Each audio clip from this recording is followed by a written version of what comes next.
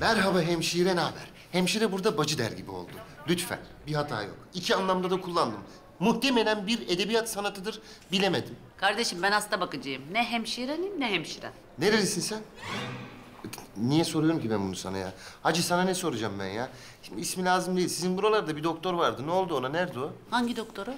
Şimdi ismini vermek istemiyorum hani. Elf prenseslerini andıran ismine şarkılar yapılmış. Kim bilir zerre yeteneği olmayan nice platoniklere şiirler yazdırmış. Güldüğünde merhametin varlığını hatırlatan biri hani. Kardeş o neymiş be? Öyle biri kaldı mı? Var bacım var. Allah seni inandırsın, gamzesine cinayet işlersin. Gözleri hipnoz saati bir sağ bir sol yapsın. Takip etmeye cesaret et, bittin. Geçmişe geri gönderir, bilinçaltını hortlatlattırır ha. Yani dış görünüş her şey diyorsun. İçi. İçini de ben bilirim onu. Vallahi bak. Şimdi gördüm diye burada böyle övünüyormuş gibi oluyor ama olsun yani. Orası da saklı hazine. Saklı hazine orası da. 31 yıllık çapkınım. Böyle ne- neyse. Yani e, ben hastasıydım onun ama öyle böyle değil yani ablacığım.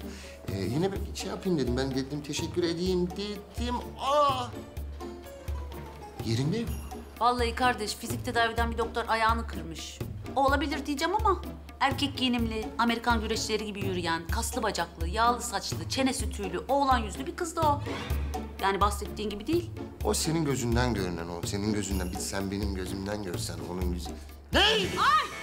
Ayağı mı kırılmış? Ne biçim hastane burası kardeşim ya? Sahip çıksanıza. Personelinizdeyim bu kız sizin. Ee, ne bileyim canım ben alçı alıp göndermişler. Sus alırım alçıya her şeyinizi, her tarafınızı sizin. Kıçınızı kaçıramazsınız. Tarihi eser diye müze müze dolaştırırlar sizin sergilerde. Nasıl oldu? Kim yaptı? Niye yaptı? Ne zaman yaptı? Niye bana haber vermedi? Ne biçim hastanesiniz? Ee, Şimdi şöyle olmuş. Sus bana cevap verme lan. Delirtme beni. Kazulet gibi diktin beni sabahtan beri burada. Niye benim vaktimi çalıyorsun sen? Enişte ya. Of. Ahmet beni niye arar lan? Feride ayağını kırmış biliyor muydun lan? Yo senden öğren. Kapat ya lan.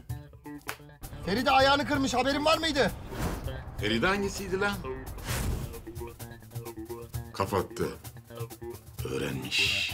Feride ayağını kırmış biliyor muydun? Geçmiş olsun ya. Nasıl iyi mi? Feride ayağını kırmış biliyor muydun? Yapma ya. Nasıl olmuş? Ciddi miymiş? Hangi hasta? Kapattı. Feride ayağını kırmış haberin var mıydı abi? Evet vardı.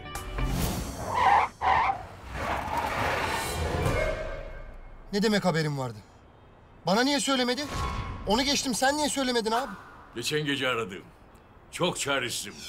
Senden başka arayacak kimsem yok dedi. Öyle dememiştir demez Feride öyle şeyler ya. Ekmekle sıyıracak kadar bile olsa hala seviyordur beni birazcık. Dese bile sen onu bana söylersin bile bile canımı acıtmazsın abi. Utan diye söyledim Ahmet.